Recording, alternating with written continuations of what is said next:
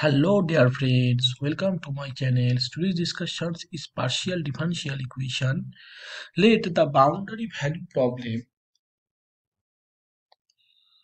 Rayleigh Ritz method uxx plus uyy plus qy qu is equal to r. The region R bounded by the closed curve C. Let ux be prescribed on C and the corresponding variational problem is to optimize the functional double integral r u square xx u square yy minus q u square plus 2 r u dx dy. This method is called Rayleigh-Ritz method. Solve uxx plus uyy is equal to 0 mod of x less, less than equals to 1 mod of y less than equals to y u equals to 0 mod of x equals to y u is equal to 1 minus x square mod of y is equal to 1 so let the solutions be ux 1 plus x square 1 plus c into 1 minus y square because this is the property of the of the Rayleigh Ritz method okay? I have to find out find out this this way. Okay c is the any constant term. I have to find out c.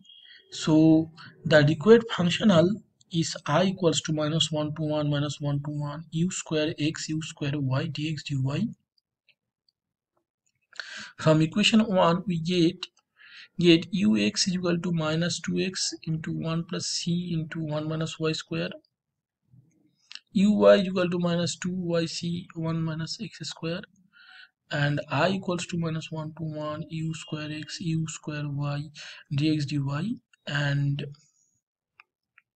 i just i'm just putting the value ux and uy in here and i am getting this value is in here and di by dc i get this value and di by dc equal to 0 this is a functional problem so di by dc equals to 0 so this value is equals to 0 because minus 1 to 1 minus 1 to 1 is 0 to 1 0 to 1 2 into 2 4 so uh, all are even function. So i i took everything in here and i got this value after calculation.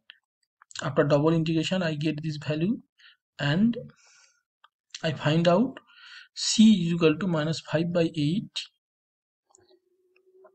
and uxy equal to minus 1 minus x square and putting the value of 5 by 8 1 minus y square.